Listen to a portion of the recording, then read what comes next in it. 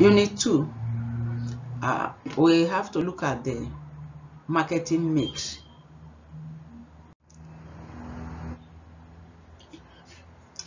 What is a marketing mix?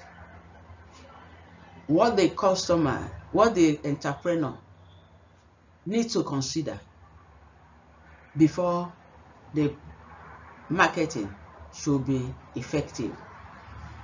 You look at the, the people, the place, the price, the product, the promotional aspect, the processes. Every single one of these is very critical for the success of marketing. Before now, you have just four marketing mix, uh, which had to do with the right pricing, the, the good products, then the, the promotion, and the, the place. They have added other dimensions to it, including politics, people and processes.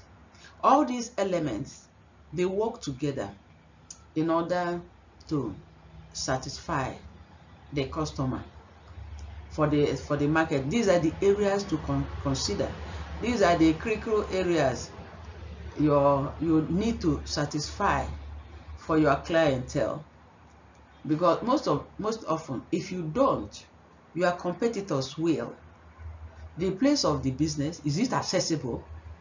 The location the delivery services. Business has grown in number and dimensions that there is competition on every aspect of it. The pricing if you don't have the right price your competitor will now uh, overtake your customers. The products have to be good. The total uh, uh, service product. You have facilitating services. And these days, you know, for the product, for instance, if you bring a product that needs assemblage, you don't leave it for the for the customer sometimes people now deliver and follow you to where the products are delivered to help you assemble the uh, the product that uh, needs some level of uh, assemblages. Promotion. Companies are falling over each other trying to get people to to recognize the type of product they have and they try to make them available to the people trying to outdo all other competitors because you have to identify, bring out something distinct about uh, your company. How do you do that? Is through promotion. You have to draw attention of the customers you know, to it. The, the, the processes, the operational efficiency, all these things that you have to you know, put in place to convince your customers that you are different from your competitors. So as the days, you know, uh, grow, as the market gets more complex, the pro promotional strategies, you know, are getting more and more complex. Some people even dance in order to to sell ordinary toothpaste.